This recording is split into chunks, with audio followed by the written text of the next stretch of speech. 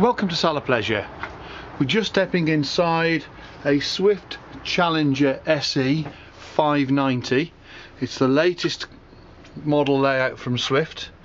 As you can see then, immediately to the right of the door we've got a large end lounge with two long seats that can be used as two single beds and there's the stanchions in the corner on both sides to make two bunks and as you can see there's the lights just there as well for the uh, lower bunks.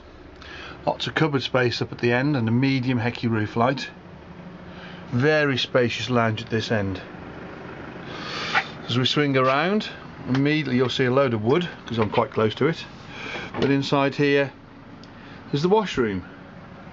So we've got uh, the heated towel rail and there's also a radiator grill underneath it from the um, Alde central heating.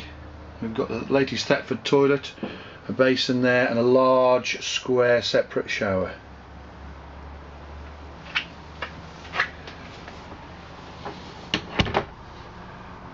Opposite we've got the kitchen. We've got the hob, one electric ring with three gas, a separate grill and oven. Adjacent is the sink and above we've got cupboards and the microwave. Plenty of kitchen cupboards there and below lots of work, work top work surface. I can't even get my words out. Just below we've got the fridge and it's the latest Dometic fridge and this has got a pull out ice box just to make it a larder fridge if you wish.